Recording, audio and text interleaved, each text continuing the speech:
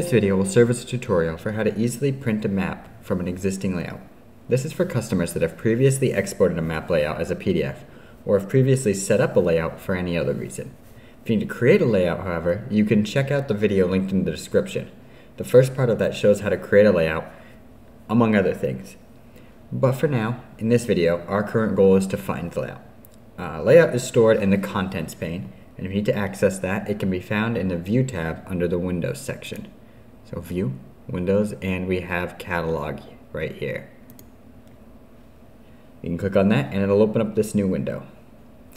Now, we'll have this layout section right here. If we click the drop down arrow right next to it, that'll open a list of all layouts we currently have available to us on this map. So I'm going to go ahead and click the one we want. And then all we need to do from there is navigate over to share. And we can click the under print layout. This will open this here window and we can choose what printer we want, any properties, how to print it, and you know, your, your, your average printer selection options. And when you're ready, you can go ahead and click print and it'll get that going for you.